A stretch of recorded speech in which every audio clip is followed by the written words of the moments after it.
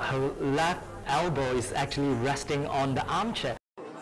People talk about the hand gesture. Her right hand is actually on top of the left hand because Mona Lisa at that time she already married.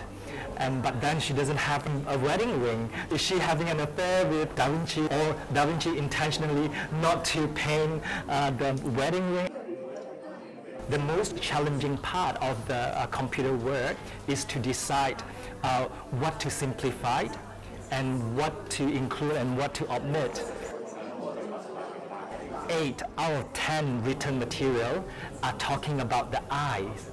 So then in our description, we can't miss out the description of eye.